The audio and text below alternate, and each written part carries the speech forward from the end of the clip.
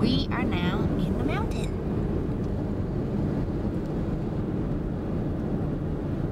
And we're gonna keep going up higher and higher and higher until we reach Estes Park.